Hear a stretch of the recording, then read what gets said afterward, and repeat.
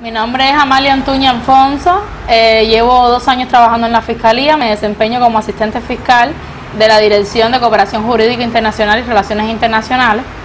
Eh, para mí la Fiscalía me ha aportado mucho a nivel profesional y personal, he adquirido mucha, disciplina, eh, compromiso con el trabajo, dedicación, eh, compromiso también con la revolución.